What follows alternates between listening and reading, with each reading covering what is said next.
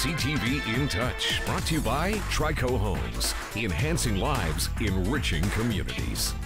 Imagine not knowing where you will sleep tonight. The truth is, hundreds of women and children are without a home.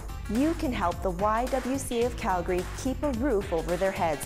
On April 15th, be homeless for one night. Register and start raising funds today. At Lock Gallery, I'm Pearl Sang, keeping you in touch.